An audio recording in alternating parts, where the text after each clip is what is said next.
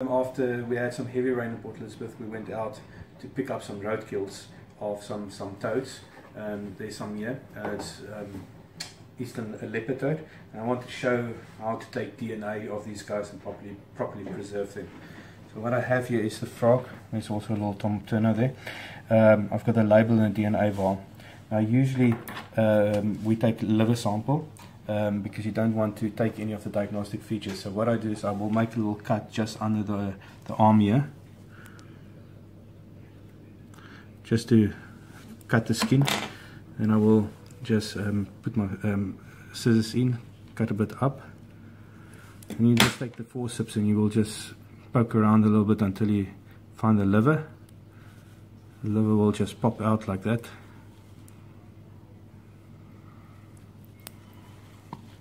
Sometimes the hole is a little bit too small, make it a little bit bigger. Okay, there's the liver coming out. Now we don't need a whole liver because our vials are quite small, so just take uh, a good enough sample. Okay, about that size. Usually what I do is I cut it just a little bit. It's just so the alcohol prop, uh, penetrates quite prop, uh, properly, so I just put it into the vial And then I've got these nice little labels. It's my initials and the field number. It's a running number. And I do them in duplicate. And you will see why. I just cut off the one. The one with the string goes onto the specimen. The other one goes on into the vial. So now this uh, DNA vial is uh, associated with that specimen forever. To tie on the label, just go onto the left leg.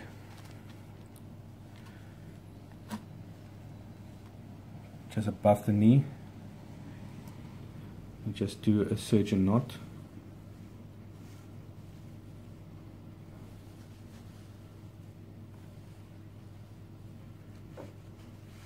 Just cut, it, cut the pieces off. So that's done for the processing. Now we can just poke a little bit. Okay cool. So this is the second installment. This is now how to preserve the animals. Um, so I've got a tray with a, just a piece of cloth in the bottom don't want it um, the specimen on the smooth surface that is sliding around. We've got some 10% formalin. That's one part um, uh, formalin with nine parts of water. So I'm just going to wet this.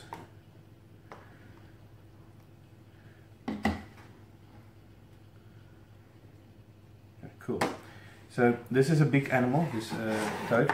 So what, what you do is you will uh, uh suck up some uh, formalin into the syringe just inject some into into the body cavity, into the legs and stuff.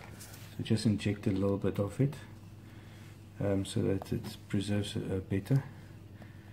You don't need to do too much with toads and frogs. They um, got a, quite a absorbable skin, so it, uh, they will absorb uh, quite easily.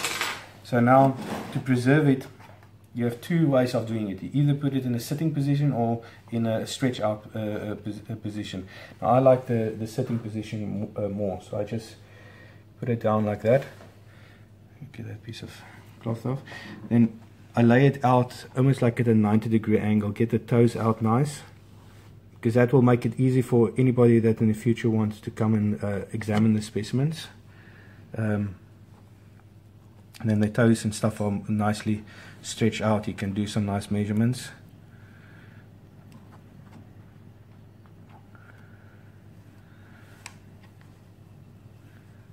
Okay so that that's basically the best that I can do with this roadkill.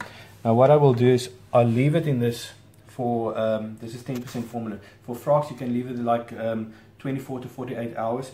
You'll you you just feel if they stiffen up.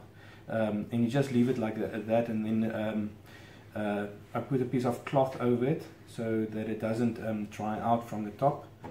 Um, and you just close this up you leave it for as I said 24 um, hours or 48 hours. Then after that you wash it uh, often with running water for, for an hour or two. Um, and then you transfer to 70% or ethanol for permanent storage in the collection